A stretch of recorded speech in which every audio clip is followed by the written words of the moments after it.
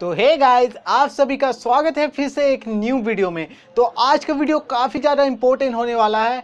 ये सिर्फ़ एक यूट्यूबर के लिए नहीं है, सभी के लिए। जो भी गूगल अकाउंट यूज़ करते हैं, मैंने जीमेल अकाउंट यूज़ करते हैं, या फिर एक यूट्यूब चैनल चलाते हैं, या फिर जो स्टोर करते हैं अपना फ़ोटो को गूगल फ़ोटो के अंदर गूगल ड्राइव के अंदर अपना डॉक्यूमेंट को स्टोर करते हैं, उन सब के लिए वीडियो काफ़ी इंपॉर्टेंट होने वाला अगर आप इस वीडियो को थोड़ा सा भी स्कीप कर देते हो, या फिर कोई भी पार्ट मिस कर देते हो तो आपको बहुत ज़्यादा प्रॉब्लम हो सकता है 2021 में। क्योंकि आपका डाटा जो है वो डिलीट कर दिया जाएगा ऑटोमेटिकली जैसा कि गूगल ने ईमेल पे भी आपको बताया था कि जो है आपका जो डाटा है वो ऑटोमेटिकली डिलीट हो जाएगा एक जून एक जून 2021 तक। तो ये क्या पॉलिसी है? और आपको भी इस तरह का ईमेल आया होगा, जैसे कि आप स्क्रीन पे देख रहे होगे तो इसी तरह का आपके पास भी एक गूगल के तरफ़ से ईमेल आया होगा कि मतलब इंजेक्टिव होगा आपका डाटा, और ये क्या पॉलिसी है, और कितना आपका डाटा इन्फेक्टिव होगा इससे। ये सारी इन्फॉर्मेशन मैं इस वीडियो में देने वाला हूँ।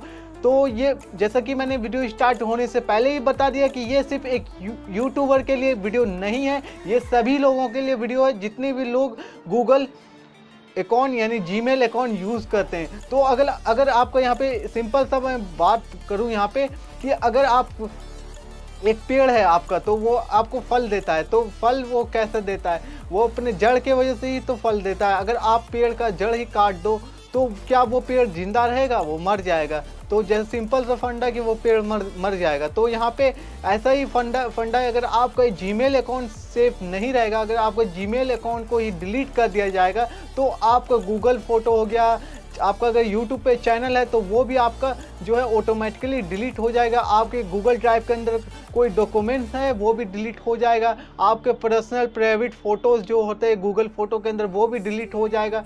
तो यहाँ पे जो है एक जून 2020 को जो अपडेट आया है कि आपको फाइनली ये नोटिफिकेशन आया है गूगल की तरफ़ से कि आप अपना जो है सारा डाटा को जो है कॉपी करके अपना फ़ोन में रख लो बिटवीन थ्री ईयर मतलब तीन ईयर का पुराना डाटा जो है जैसे कि मान के चलो कि हम्म, अभी 2020 चल रहा है तो यूट्यूब गूगल जो है, वो 2016 से 2017 से लेके 2019 तक का डाटा जो है, आपका गायब कर देगा डिलीट कर देगा ऑटोमेटिकली अब यहाँ पे मैं बता दूँ कि ये तो हो गया आपका डाटा का बात. अब बताता हूँ कि जीमेल का एक जीमेल अकाउंट आपका कैसे डिलीट हो सकता है? अगर आप यहाँ पे यूट्यूब ने ये भी कहा है कि अगर आप अपना जीमेल अकाउंट को लॉगिन करके भूल गए उसका उसका पासवर्ड या फिर आप लॉगिन ही नहीं कर रहे हो तो अगर आपने बहुत करीब तीन साल से आप अपने जीमेल को लॉगिन नहीं किए हो तो आपका वो जीमेल ऑटोमेटिकली गूगल जो है वो डिलीट कर देगा।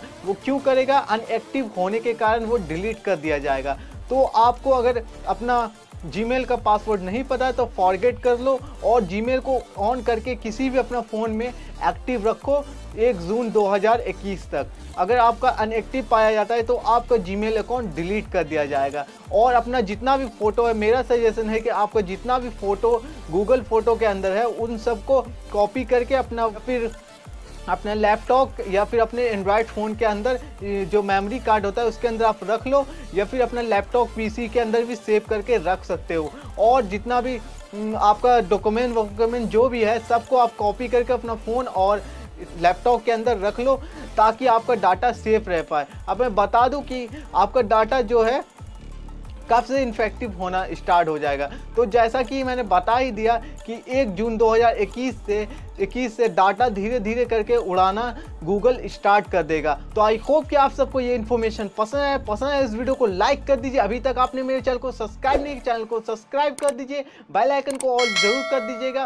और इस वीडियो को अपने दोस्तों के साथ शेयर ज़रूर कर दीजिएगा, क्योंकि ये काफ़ी ज़्यादा मोस्ट इंपॉर्टेंट नोटिफिकेशन है। मिलते हैं नेक्स्ट वीडियो में। तब तक के लिए बाय बाय सी यू